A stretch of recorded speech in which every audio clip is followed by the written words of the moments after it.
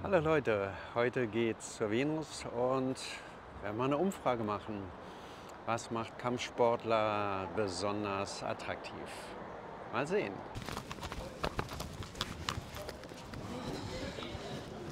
Okay. Hallo. Hi. Die heutige Frage lautet, würdest du es gut finden, wenn dein Freund Kampfsport macht?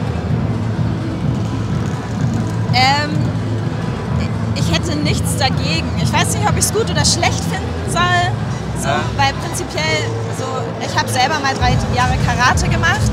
Damals, als ich damals, länger her. 13 Jahre, dann äh, Nee, drei Jahre. ach, drei Jahre. Drei Jahre. Wollte ich auch sagen, so alt bist du noch. Aber so, so selbstverteidigungsmäßig okay, aber ich glaube, mein Freund, der hat da manchmal so ein bisschen.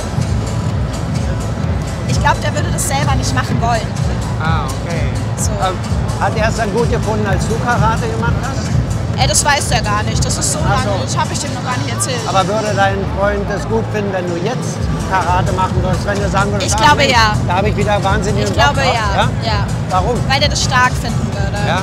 Wenn man das als Frau macht, ist das immer noch ein anderes Bild, als wenn man es als Mann macht, glaube ich. Weil bei vielen ist ja so dieses Aggressivitätsthema dann da wahrscheinlich und als Frau ist ja immer diese Selbstverteidigungs... Äh, ne? Und was würde dich jetzt dazu bringen, wieder anzufangen? Gar nichts. Gar nicht. Warum nicht? Ich Aber du bist doch fit. Ich habe keine Zeit oder Lust auf Sport, muss ich Ah, ganz echt, ja? ehrlich sagen. Ich, Und wenn jetzt dein Freund sagen würde, Mensch, ich hätte wahnsinnige Lust auf Kampfsport, was würdest du ihm raten? Was sollte er machen? Dann würde ich sagen, such dir einen vernünftigen Verein, in dem es keine Idioten gibt, der dir Spaß macht. Wenn es dir um den Sport geht, dann mach's. Also du wärst da ganz offen. Ja. Du hast jetzt keinen Er, Lieblingssport. nee, er kann machen, was er will. Super. Das wäre meine Meinung. Okay, vielen Dank. Gerne.